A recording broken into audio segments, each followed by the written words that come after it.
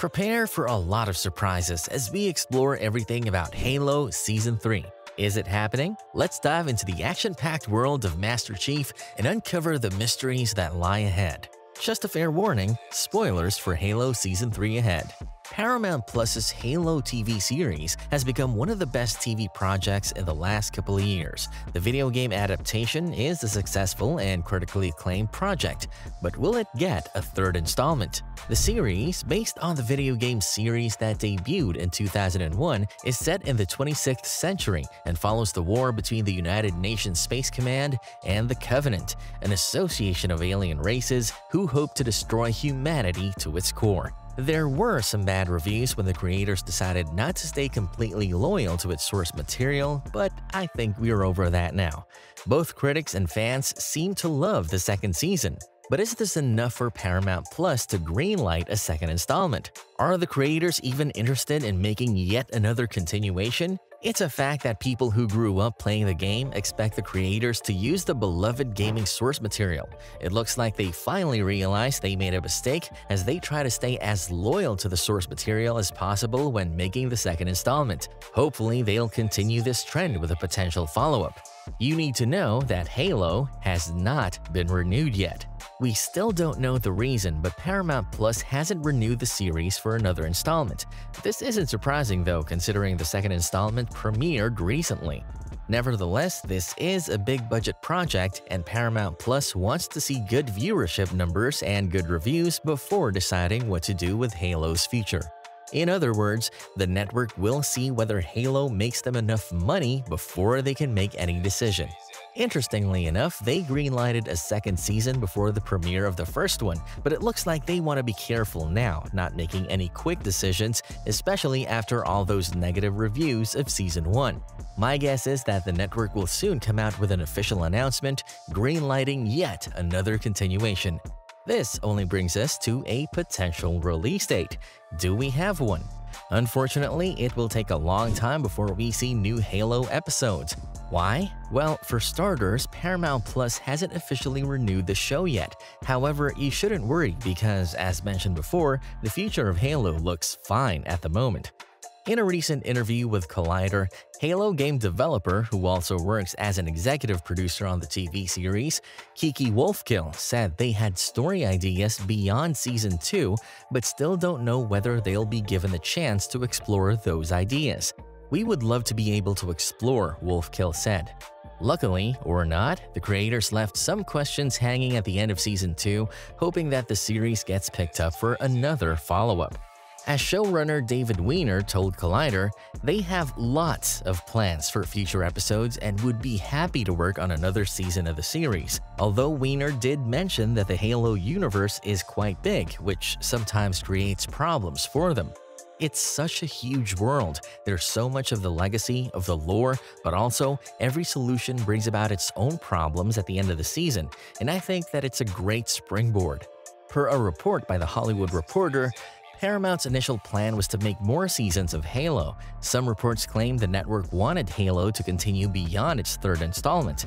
This is not surprising considering the lore of the games. Anyway, they need to make a decision following the Season 2 finale because, as I said, the creators need more time to produce a big-budget series like Halo. As for a potential release, well, we can look into a previous filming schedule and try to guess a likely date. Season 2 was filmed from September 2022 to May 2023. Filming wrapped up about a year before its February 2024 release date. If the creators start working on the third installment by the end of 2024, we expect to see the new episodes sometime at the beginning of 2026 at the earliest. Maybe in the spring of 2026? That seems more likely. So, who else is on board for Halo Season 3? Should we expect to see any new cast members? Are there any departures? Let's find out. When it comes to Halo, expect the unexpected, especially with the changes from the source material. We've said goodbye to plenty of characters in the series so far, so we expect to see some departures in Season 3, including the one of Shabana Azmi. We also know that we'll see Pablo Schreiber as Master Chief, as he's the lead role and protagonist of the series. Continuation with Adam would make no sense.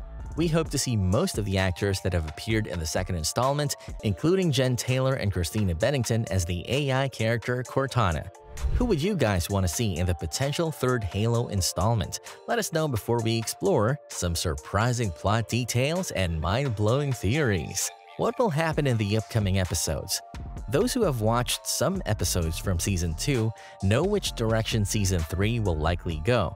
As aforementioned, people were outraged with Halo Season 1. The creators stayed as far from the events in the games as possible, Luckily, they changed this in the second installment, and we expect the third one to continue adapting some key moments from the games. Honestly, I truly hope the creators have learned their lessons. Anyway, Season 2 is expected to leave us with plenty of questions, questions that will be answered in the future. Based on what happened in the second season so far, it looks like the third season will adapt to the events of the first Halo game. The beloved 2001 game features Master Chief trying to defeat the Alien Covenant.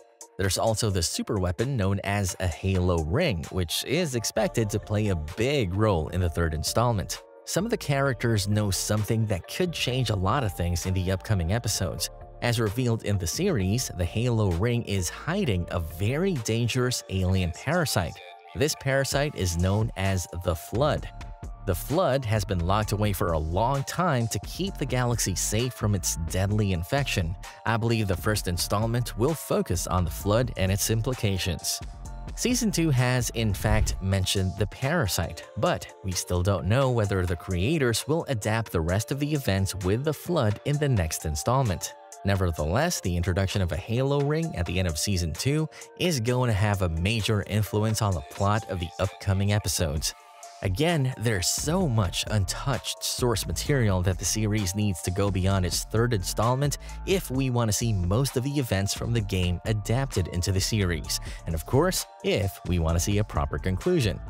Do you have some theories about the plot for Season 3? Share them in the comments before we move on to Parangosky and her death. Is she really dead? Well, most fans hope that she is, considering how irritating and evil the character has become. Just to be clear, we all love the amazingly talented Shabana Azmi, but watching the character's actions in Season 2 made us all very nervous. Obviously, the creator's goal was to make us all hate the character, and they succeeded in their mission. But this doesn't mean that Margaret was dead. We never saw a dead body, did we? And if history has taught me anything is that if you don't see a dead body in a TV show, chances of the character actually dying are pretty low. Margaret could have easily survived the flood zombie attack. What do you guys think? Is she really gone? That's all for now on Halo Season 3. If you're as pumped as we are for the next chapter, make sure to hit that like button and subscribe for all the latest updates. Until next time everyone, stay awesome. See ya.